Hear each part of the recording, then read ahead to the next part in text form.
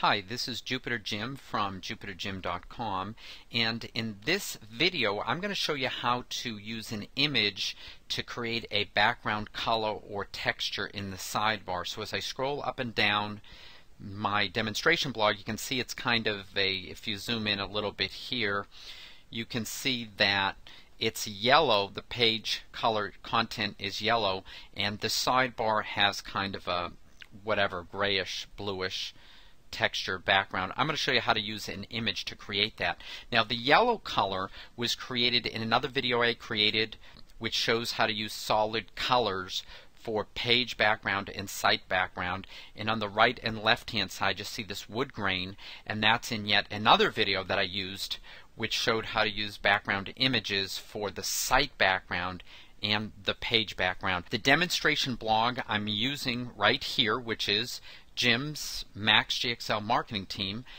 This is using WordPress version 3.1.0 along with the thesis theme version 1.8. Okay, here's the this is the blog. Here's the blog and this is what it looks like without any background image in the sidebar or color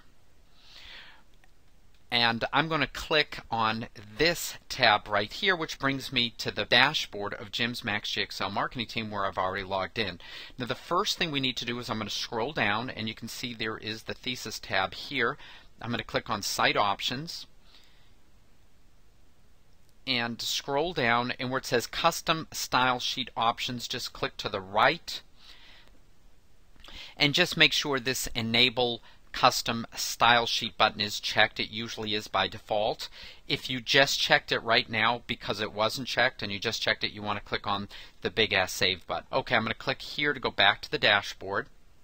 The next thing we're going to do is copy and paste some code. So I'm going to click on this file and I'm going to open a file this file right here is in Notepad. You, this code you can find on my blog, and the address to my blog is right here at the top, jupiterjimsmarketingteam.com.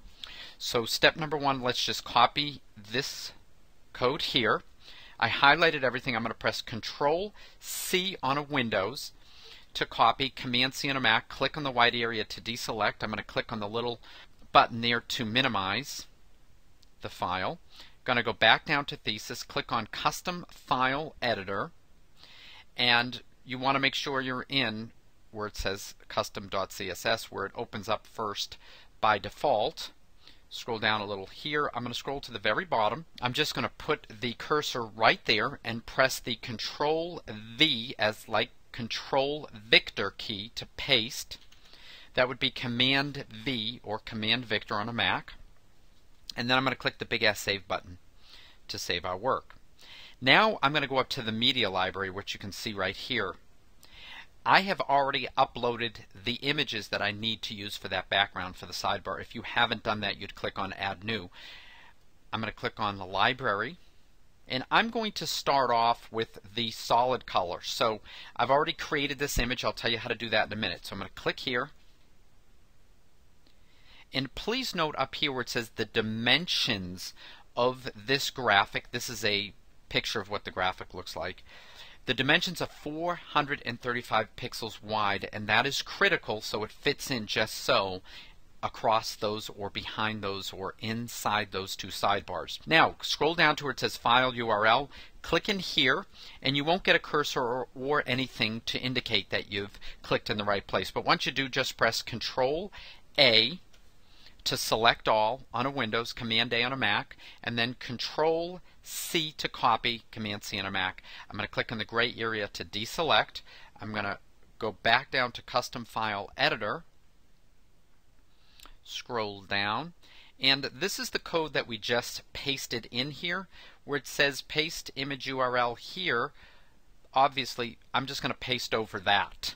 So I'm going to press Control and then the the key, and that's going to paste the URL for the image that I just copied. Click Big Ass Save button.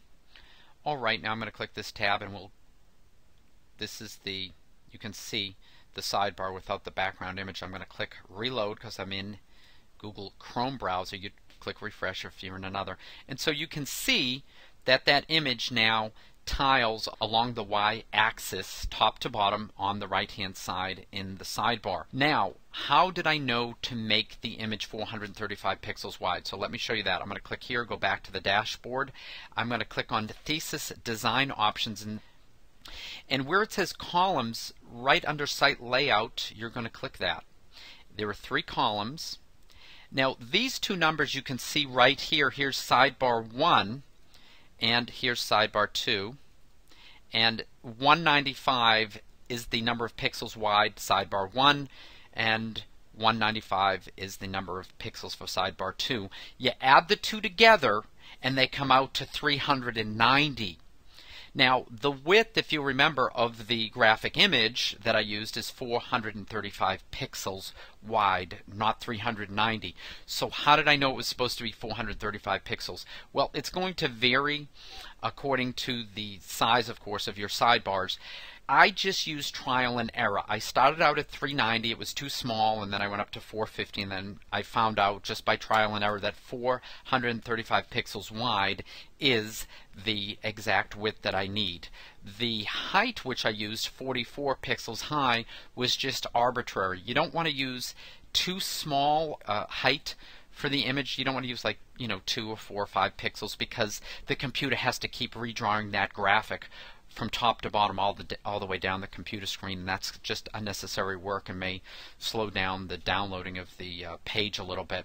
So you don't want to do that. You could use a bigger height a greater height for the image and that probably would not have a negative side effect. Okay the next question is so how did I create the graphic? Well one thing I did is I started with this website called all free backgrounds and I just chose a couple of the backgrounds here. I'll show you them in a minute and you just right click download the image first of all and then what you're going to do is just resize that image so it's 435 pixels wide or whatever width you need for your sidebar.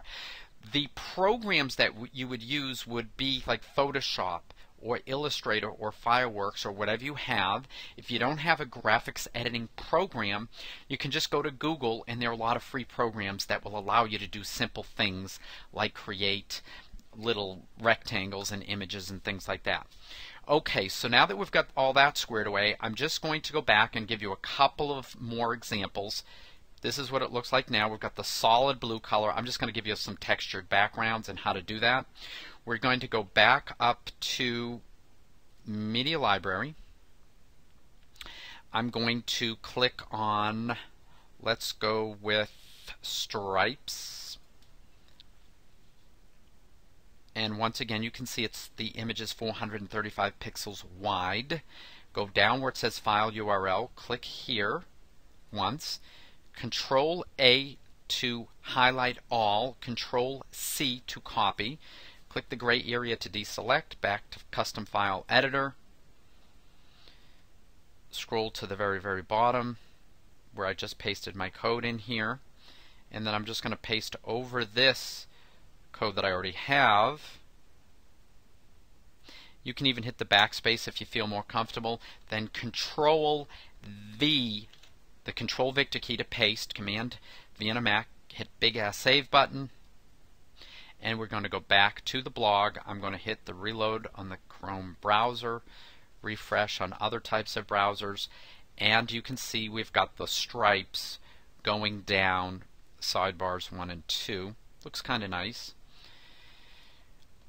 Couple more textures and we will be done. Now, I already know the URL for a couple of the other images, so I don't need to cut and paste every single time. For instance, I know one is paper, think it's actually paper 11. So let me go with, click the big save button, go back here, hit reload, and yes, it did work. I think that was the original one that we looked at. Okay. And one more and we'll be done. Just so you can get a feel for the different types of background textures Boom, boom. Change that to a 2.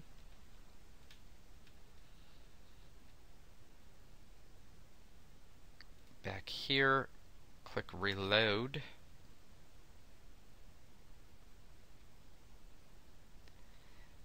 And yes, we've got the paper. It's kind of a subtle background. I'm going to zoom in a little bit. It's a very similar color to the page, but there's some texture in there and it just gives it a little more character. So I hope you found this video helpful. If you liked it, please click the like button if there is one. Please add your comments to the video or my blog and subscribe to my blog because that's what keeps me motivated to keep cranking out these videos for you. Have a great day. Thank you so much.